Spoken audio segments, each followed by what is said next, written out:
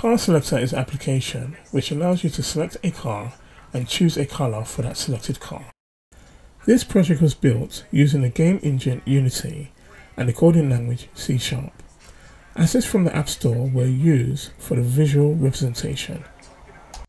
I started out with a simple document describing what the project is about.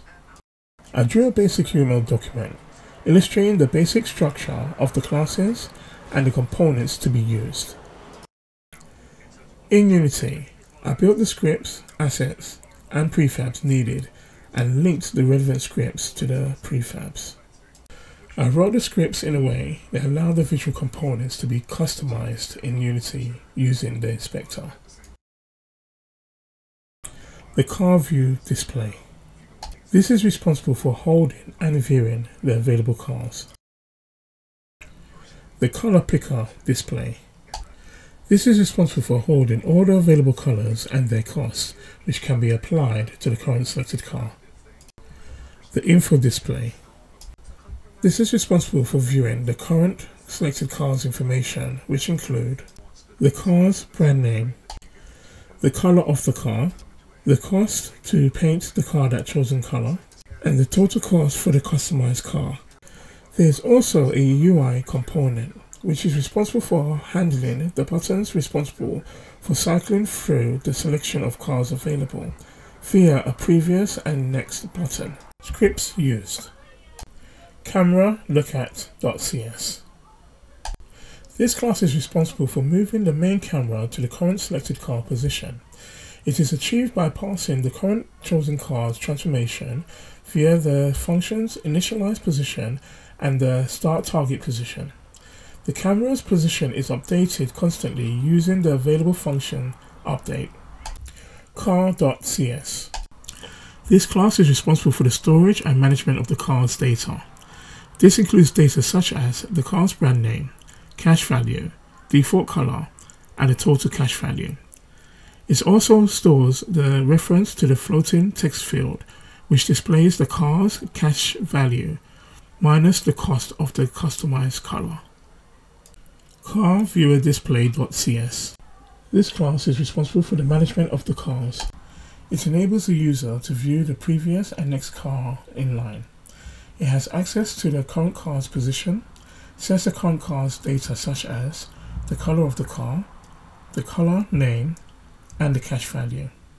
It also stores a list of all the available cars. ColorButton.cs This class holds the color and cash value for each button in the color picker display. It also sets up the cost and displays it in the text field on the button.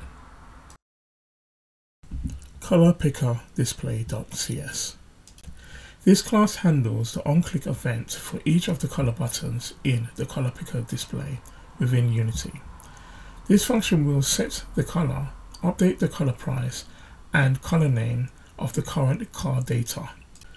configdata.cs This class contains static values which are accessible globally. It contains a reference to the currency symbol used throughout the app infodisplay.cs. This class is responsible for displaying the current selected car's details, such as the brand name, car color, color price, and car price. Objectdata.cs. This is a data object which is used to create the car's data storage. It stores the brand name, color, color name, color price, and value of the car. It also has the ability to print out this data to the console. Object Data Reader.cs This is responsible for reading in the JSON file. The JSON file contains a list of cars and their cost. UI Manager.cs This class is responsible for choosing a car from a list of cars. This is done by the functions go to next car and go to previous car. When the car is selected, the info display is then updated, followed by the camera, with the selected car as the new target. This is the end of the walkthrough. I hope you enjoyed it. Thank you.